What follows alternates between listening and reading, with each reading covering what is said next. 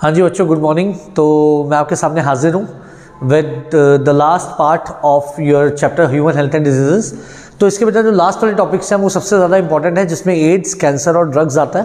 तो मैं ज़्यादा टाइम ना लेते हुए क्विक रिविजन मोड है ये।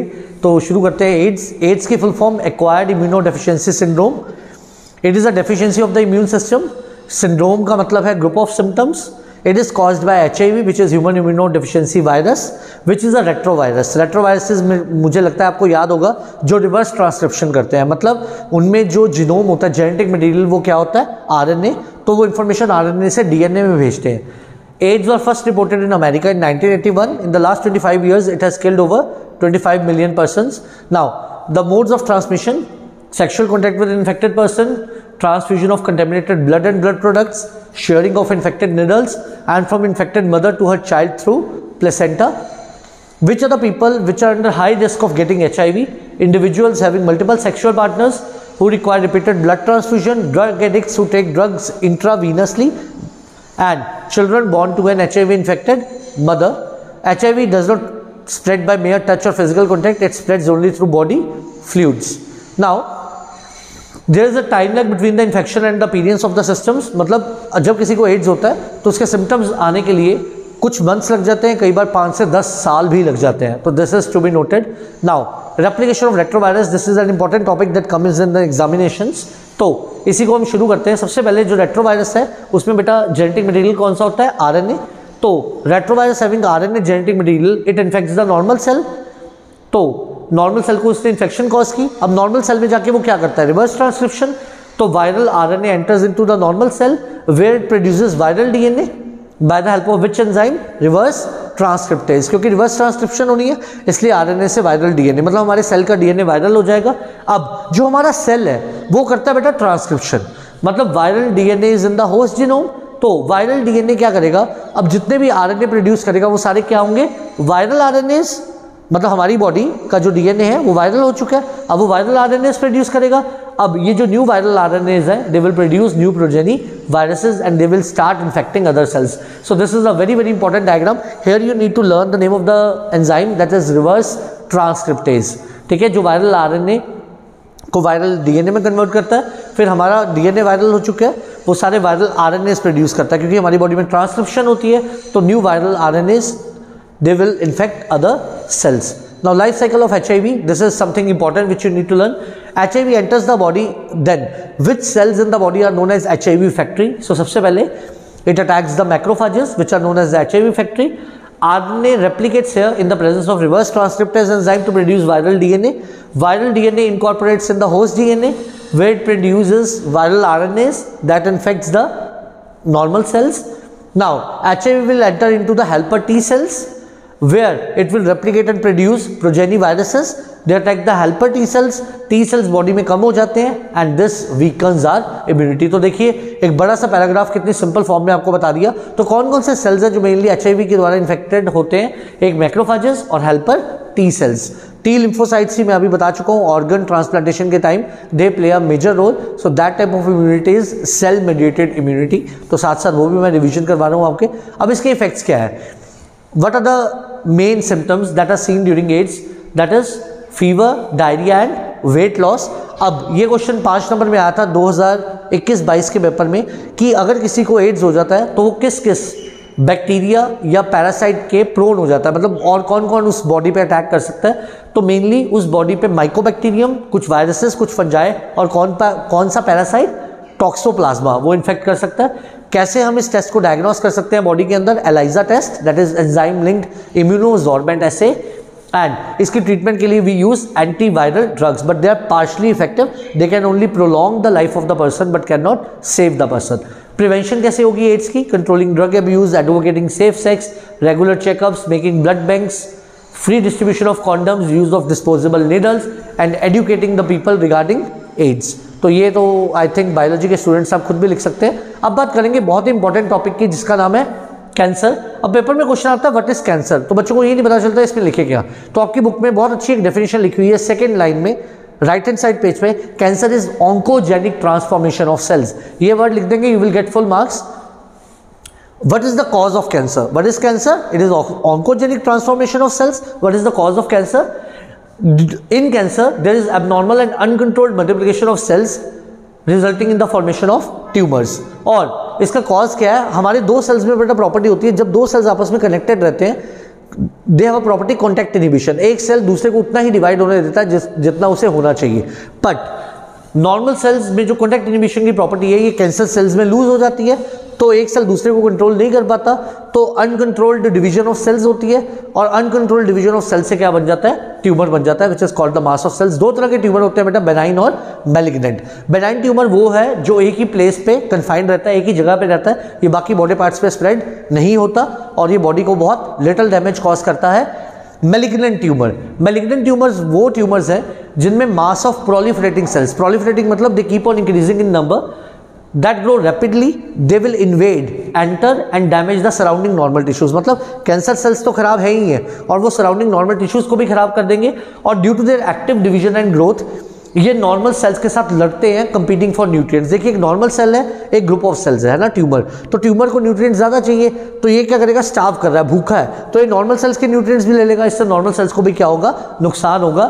एंड अगर इस ट्यूमर में से सेल स्लॉड हो जाए, कट जाए then it reaches the different sites via blood and starts a new tumour there this property of malignant tumours is called metastasis then when a cell और group of cells is sloughed मतलब cut जाता है इस tumour में से, वो बाकी body parts में ब्लड के थ्रू पहुँच जाता है और वहाँ पे एक नया ट्यूमर स्टार्ट करता है। इसे हम क्या कहते हैं बेटा? मेटास्टेसिस अब जो जो मैं वर्ड्स बता रहा हूँ, बहुत ध्यान से समझिएगा। एक तो कैंसर का कॉज है लॉस मतलब जो कॉन्टैक्ट इनिबिशन की प्रॉपर्टी है, वो खत्म हो जाती है। और what are the carcinogens the cancer causing agents they are known as carcinogens तो फ़िज़िकल एजेंट्स कौन से जो कैंसर कॉज करते हैं? आयोनाइजिंग रेडिएशन कौन सी है? एक्सरेज और गामा रेज नॉन आयोनाइजिंग कौन सी है? यूवी अब ये ध्यान रखना है which are the ionising and non ionising radiation that cause cancer chemical agents में टबैको स्मोक आ जाता है। यही आपके एनसीआरटी में दिया हुआ है। Biological agents very very important oncogenic viruses cellular oncogenes और प्रोटो ऑन्कोजीन्स वेन हमारी बॉडी में बेटा इनएक्टिव जीन्स होते हैं cancerous genes they are called proto oncogenes under certain condition proto oncogenes become oncogenes ठीक है? वो कैंसर कॉजिंग जीन्स बच जाते हैं and that is the biological agent that causes cancer now cancer detection and diagnosis तो ये different techniques हैं। सबसे पहले मैं शुरू कर रहा हूँ कैंसर डिटेक्शन की टेक्निक बायोप्सी से। बायोप्सी में क्या होता है? Thin piece of suspected tissue body में से निकाला जाता है। उसे हम स्टेन करते हैं और एग्जामिन करते हैं under the microscope which is called histopathology in case of leukaemia leukaemia is blood cancer biopsy and histopathological studies are done and blood and bone marrow is tested for increase cell count बेटा देखो blood और bone marrow में से अगर आप increase cell count देख लोगे, आपको पता चल जाएगा कि वहाँ पे अनकंट्रोल डिवीज़न ऑफ़ सेल्स हो रही है। तो बायोप्सी और हिस्टोपैथोलॉजी से अगर कहीं पे अनकंट्रोल डिवीज़न ऑफ़ सेल्स हो रही है तो we can detect tumour there now the second method is imaging techniques तो सबसे पहले रेडियोग्राफी है, जिसमें हम एक्सरे से कैंसर डिटेक्ट करते हैं, फिर है CT scan computerised tomography scan, जिसमें एक्स रेज के थ्रू, ये बेटा बहुत इंपॉर्टेंट है, ये वर्ड्स बच्चों को, बच्चे नहीं लिखते, जिनकी वजह से नंबर नहीं मिलते। एक्स रेज के थ्रू हम एक थ्री इमेज जनरेट करते हैं of the internals of the object और M I is magnetic resonance imaging इसमें हम मैग्नेटिक फील्ड्स या नॉन आयोनाइजिंग रेडिएशन यूज़ करते हैं to detect pathological and physiological changes in the living tissue तो बेटा ये एज इट इज़ लाइंस आपको लिख के आनी पड़ेगी, और ये बहुत ही ज़्यादा इंपॉर्टेंट है इमेजिंग टेक्निक्स नेक्स्ट बेटा हम बात करेंगे एंटीबॉडीज भी यूज़ करते हैं हम अगेंस्ट कैंसर स्पेसिफिक एंटीजेंस उसके अलावा मॉलिकुलर बायोलॉजिकल टेक्निक में हम क्या करते हैं? We detect the cancer related genes such individuals should avoid carcinogens मतलब अगर किसी की फैमिली में किसी को कार्सिनोजेंस के थ्रू लाइक कैंसर होता जा रहा है बार बार तो कैंसर रिलेटेड जीन्स को बॉडी में डिटेक्ट कर लिया जाता है और वो आगे से आगे पास ऑन भी हो सकते हैं तो उन लोगों को टबैको स्मोक या इन चीज़ों से दूर रहने के लिए कहा जाता है। उसके अलावा हाउ कैंसर इज़ ट्रीटेड तो ट्रीटमेंट के लिए we have radiotherapy where the tumour cells are irradiated lethally without damaging the normal surrounding tissues मतलब रेडिएशन से कैंसर सेल्स को किल कर दिया जाता है। कीमोथेरेपी में हम कीमोथेरापोटिक ड्रग्स यूज़ करते हैं। ये ड्रग्स जब बॉडी में दी जाती है कैंसर सेल्स को किल करती हैं, पर इनके साइड इफेक्ट्स हैं। That is loss of hair and anaemia that is less haemoglobin in the body immunotherapy में पर्सन को एक बायोलॉजिकल इम्यून मॉडिफायर दिया जाता है which are called alpha interferons how do they work they will activate the immune system and does they destroy the tumour and the last method is surgery ज़्यादातर cancers में combination of surgery radiotherapy और chemotherapy किया जाता है। अब बेटा हम बात करेंगे ड्रग्स की। The very very important topic drugs तीन तरह के होते हैं mainly commonly abuse opioids cannabinoids और कोका एल्कोलॉइड्स सबसे पहले बेटा मैं बात करूँगा ओपियोइड्स की।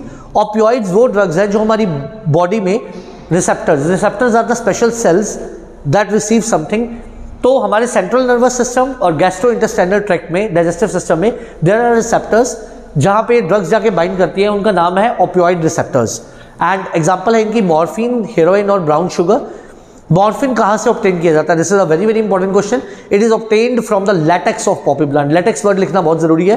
पॉपी प्लांट का साइंटिफिक नेम याद रखना है papaver somniferum and how is it useful it is a sedative and pain killer and is useful for surgery ठीक है सर्जरी में ये यूजफुल है. बट हीरोइन एक वाइट और ओरोरलेस बिटर क्रिस्टलाइन कंपाउंड है. और ये ऑप्टेन कैसे होता है? बाय एसिडाइलेशन ऑफ़ मॉर्फिन इसे जनरली स्नॉट करते हैं. Snorting means like you can see snorting injection के थ्रू अब इसके डिसएडवांटेज साइड इफेक्ट्स क्या है? It is a depressant and it slows down body function advantage में आ गया पेन किलर और सेडेटिव आफ्टर सर्जरी दिया जाता है और डिसएडवांटेजेस में it is a depressant and slows down body function फिर बात करूँगा कैनाबिनॉइड्स की।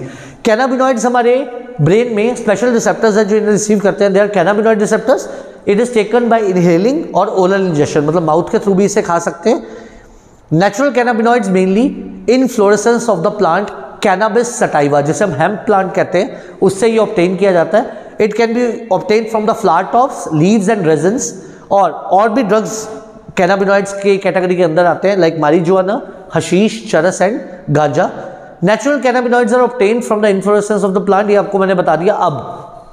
Side effects they affect the cardiovascular system and they are often abuse by some sports person third में बात करूँगा कोका एल्कोलॉइड्स जिससे हम क्या कहते हैं?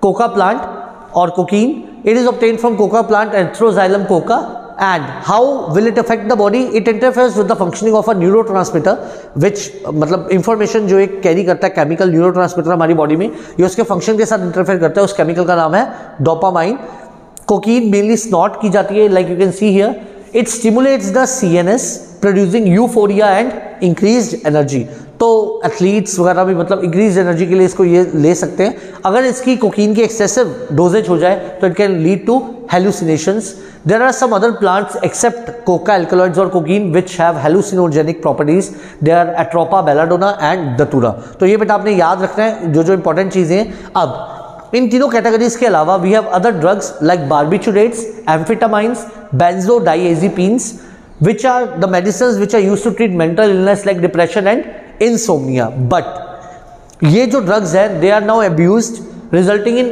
impairment of the physical physiological or psychological functions so they are causing damage to the body now we will talk about the next category smoking tobacco smoke किया जा रहा है लास्ट 400 साल से इसे स्मोक च्यू या स्नफ किया जाता है तबैको में मेनली बेटा क्या होता है निकोटिन अब निकोटिन हमारी बॉडी को कैसे अफेक्ट करता है? निकोटिन हमारी बॉडी में एड्रेनल ग्लैंड को स्टिमुलेट करता है, जो दो हार्मोन्स प्रोड्यूस करता है एड्रेनलिन और नॉन एड्रेनलिन ये हमारी ब्लड प्रेशर और हार्ट रेट को क्या कर देते हैं? Increase this is at side effect उसके अलावा स्मोकिंग से कैंसर ऑफ़ लंग यूरिनरी और throat emphysema that is a disease of respiratory tract bronchitis coronary heart disease और गैस्ट्रिक अल्सर्स हो सकते हैं। इससे ओरल कैंसर भी हो सकता है। इसके अलावा स्मोकिंग कैसे इफ़ेक्ट करती है? स्मोकिंग हमारी बॉडी में कार्बन मोनोऑक्साइड का कंटेंट इंक्रीज कर देती है और बॉडी में ऑक्सी हीमोग्लोबिन मतलब ऑक्सीजन कंटेनिंग हीमोग्लोबिन का कंटेंट कम कर देती है, जिसकी वजह से हमारी बॉडी को इफ़ेक्ट पड़ता है। तो एक आपको याद रखना है एड्रेनलिन और नॉन एड्रेनलिन का कंटेंट बढ़ जाता है। उसका कंटेंट बढ़ने से हाई बीपी और हाई हार्ट रेट की शिकायत होती है और एक कार्बन मोनोऑक्साइड का कंटेंट बढ़ जाना, जिससे ऑक्सीजन की मात्रा हमारी बॉडी में क्या हो जाती है? कम। अब मैं बात करूँगा एडोलसेंस और ड्रग एल्कोहल अब्यूज़ की। एडोलसेंस बेटा, वो पीरियड या प्रोसेस है जब एक चाइल्ड मेच्योर होता है और ये चाइल्डहुड और एडल्टहुड के बीच में एक ब्रिज है। इस फेस में मेंटल और साइकोलॉजिकल डेवलपमेंट होती है। अब causes of drug alcohol abuse in adolescence ये आप तीन या चार पॉइंट्स कोई भी याद कर सकते हैं, इस एज में क्यूरोसिटी या एक्सपेरिमेंटेशन की मतलब चाहत होती है need for adventure and excitement to escape facing problems stress from pressure to excel in academics और एग्जामिनेशन टेलीविज़न मूवी या न्यूज़पेपर्स वगैरह भी इसे प्रमोट करते हैं। और अनस्टेबल या अनसपोर्टिव फैमिली स्ट्रक्चर या पीयर प्रेशर हो, इस वजह से भी लोग ड्रग्स लेने लग पड़ते हैं। अब this is an important topic है एडिक्शन एडिक्शन क्या है? एक साइकोलॉजिकल अटैचमेंट जिसमें पर्सन को ये लगता है कि वो ठीक तभी रहेगा टेम्परेरी फीलिंग ऑफ़ वेलबींग होती है कि जब तक वो ड्रग्स या एल्कोहल लेता रहेगा। और जब वो ड्रग्स या एल्कोहल कंज्यूम करता रहता है with repeated use tolerance level उसके जो रिसेप्टर्स है like opioid receptors cannabinoid receptors वो इंक्रीज हो जाती है।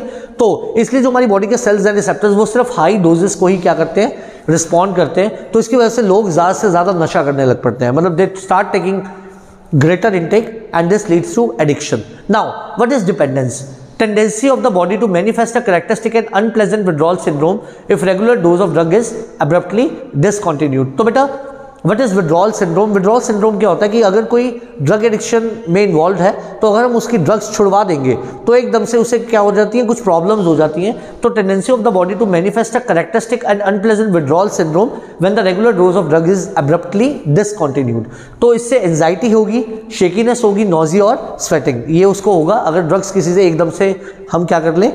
हटा लें। Dependence leads to social adjustment problems तो ड्रग एल्कोहल एब्यूज के बेटा इफेक्ट्स क्या है? ये सारे आप खुद भी लिख सकते हैं। Reckless behaviour vandalism and violence common death due to respiratory failure heart failure और cerebral haemorrhage drugs mix with alcohol में cause death damage of nervous system and liver से houses mental and social distress to the family and friends social problems like stealing and spreading infectious disease like AIDS and hepatitis B तो this is very important drug addiction में कौन सी दो disease होने के chance सबसे ज़्यादा होते हैं? क्योंकि ब्लड से डायरेक्ट कंटेक्ट होता है एड्स और hepatitis B very very important question अगर ड्रग्स या अल्कोहल प्रेग्नेंट वुमेन यूज़ करती है तो फीटस को इफ़ेक्ट हो सकता है।